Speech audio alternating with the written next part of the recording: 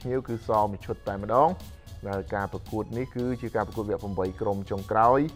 ជើងទី1បាទរវាងម្ចាស់ផ្ទះកោះកុងជាមួយនឹងបឹងកេត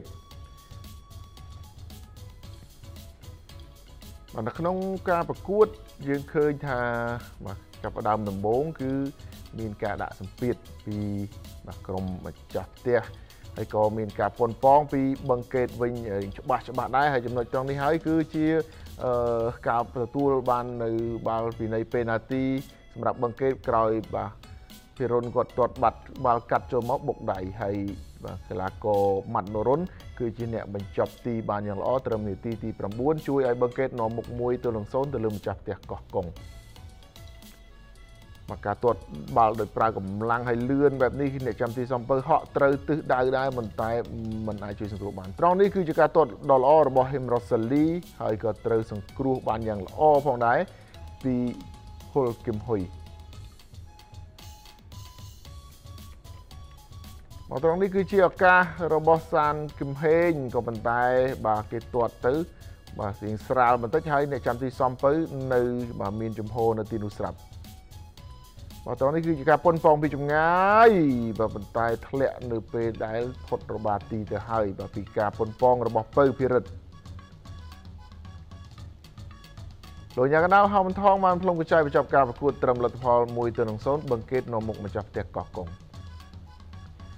ចូលដល់វគ្គទី2យើងឃើញថាមានការប្រែប្រួលលេងសូវទប់ទៀតហើយសម្រាប់កោះកុងប៉ុន្តែបង្កេតក៏មានឱកាសច្រើនជាងវគ្គទី1ផងដែរ ការតែតត្រង់នេះរបស់គឹមហេងមកឈរតែតបើម្នាក់ឯងតែម្ដងប៉ុន្តែមិនចំគោលដៅទេមកត្រង់នេះការបញ្ជូនចោះបានល្អចន្ទធាទាត់មួយជើងពេញទំហឹងតែត្រូវសង្គ្រោះបានដោយនៅចាំទីសំពៅការបញ្ជូនត្រង់នេះល្អហើយមិនអសើទេ ចន្ទធានោះក៏ចាំបន្តិចហើយក៏ទាត់មួយទំហឹងតែម្ដងត្រង់នេះតែមិនបានសម្រេចមកសំពៅថ្ងៃនេះធ្វើការបានល្អច្រើនមែនទែន មិនទៅបើមាន error ទេ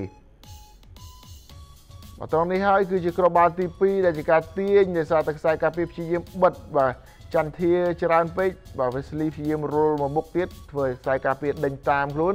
ហើយក៏មានឱកាសកាត់ឲ្យចន្ទធាដែលកំពុងតែឈរម្នាក់ឯងតែបញ្ចូលទីបានយ៉ាងល្អណាត្រង់នេះបាទល្មមក្បាលមុំបាទគាត់តែបត់ទៅគឺចូលតែម្ដង Wesley គុណភាពនៃការបញ្ជូនរបស់គេត្រង់នេះបាទมันខ្ពស់ពេកมันខ្លាំងពេកបាទល្មមនឹងឲ្យចន្ទធាបញ្ចប់ទី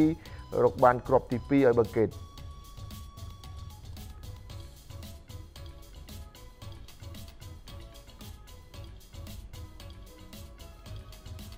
បាទគ្រាប់បាល់អស់ត្រឹមនេះហើយអាញាកណ្ដាលហៅបន្ថងបានផ្លុំកញ្ចែបញ្ចប់ការប្រកួត បាទជាផ្លូវការដោយប្រិមិត្តបានជ្រាប បង្កេតឈ្នះ2ទល់នឹង0លើក្រុមម្ចាស់ផ្ទះកោះកុងការប្រកួតបាទជើងទី1វគ្គ8ក្រុមចុងក្រោយពីរង្វាន់សម្ដែងគមហាសេនាបតីជហ៊ុន